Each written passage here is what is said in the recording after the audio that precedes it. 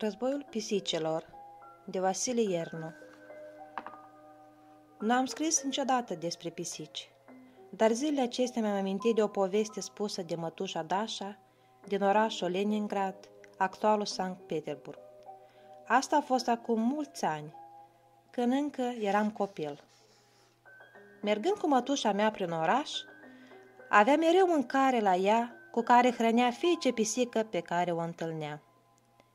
La colțul casei noastre se afla un fel de monument dedicat unei pisici.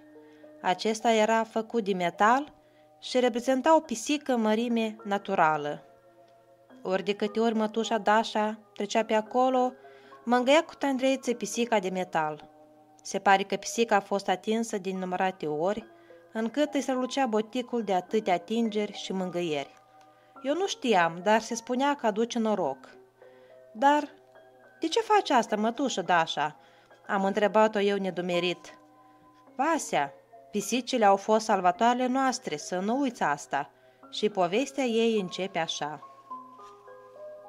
La sfârșitul anilor 30 se pornea cel mai mare și mai îngrozitor război al secolului 20.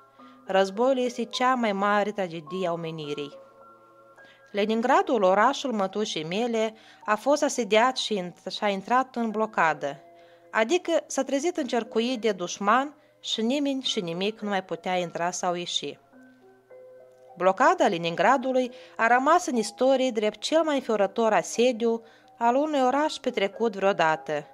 Orașul s-a pomenit în iad pentru 900 de zile, fiind încercuit, blocat și rupt de spatele frontului între 8 septembrie 1941 și 27 ianuarie 1944. Un singur drum, drumul vieții, peste Ladoga, mai unea orașul de spatele frontului. Aprovizionarea orașului era aproape imposibilă. A început atunci o foamete teribilă, o foamete atât de crâncenă încât s-a ajuns la acte de canibalism. În 1941 au fost condamnați penal pentru canibalism 26 de cetățeni, greu de crezut. În familia foarte educată și religioasă mătușei Dașa era și o pisică pe care o chema Murca. Mama mătușii Dașa, Parascovia Petrovna, a anunțat familia, într-una din zile, că a decis să ducă pisica la un adăpost pentru animale pentru a fi îngrijită, fiindcă în familia lor nu mai putea trăi. Nu mai avem cu ce hrăni, a spus Parascovia Petrovna lăcrimând.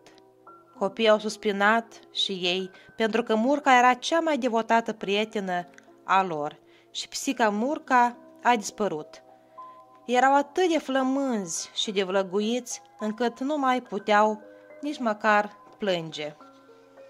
În acea seară, familia a mâncat chiftele de carne după sute de zile de foamete îngrozitoare. În decurs de peste 100 de zile, în Leningrad au dispărut toate pisicile. Foamea era prea mare. De fapt, acestea nu au dispărut, ci au fost mâncate pentru ca oamenii să nu moară de foame.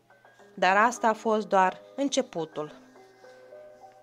Fiindcă periseră pisicile, au apărut nu peste mult timp șobolanii, cele mai feroci animale în vremuri de foamete – Șobolanii sunt inteligenți, foarte rezistenți și foarte bine organizați.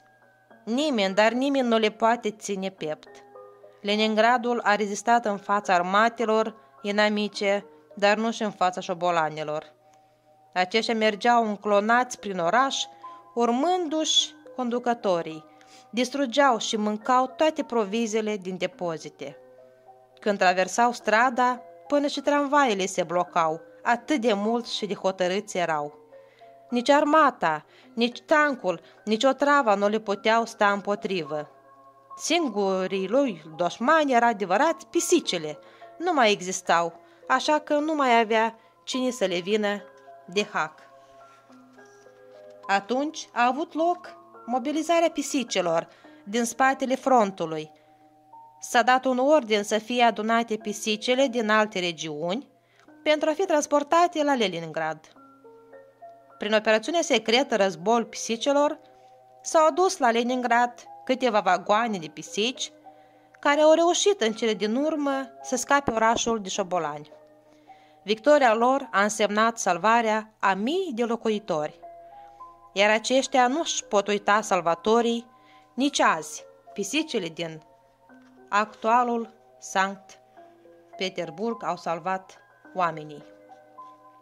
Prin 1944, când oamenii erau deja la capătul puterilor, lihniți de foame și demoralizați, în fața cinematografului central se adunase multă lume.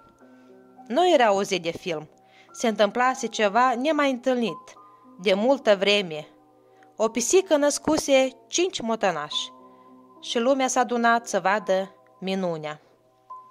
Atunci am recăpătat speranța, atunci am înțeles că suntem salvați și am învins, mi-a spus mătușa Dașa, mângâind chipul de metal al pisicii pe care ea o numește Murca, în cinstea pisicii care a salvat viața.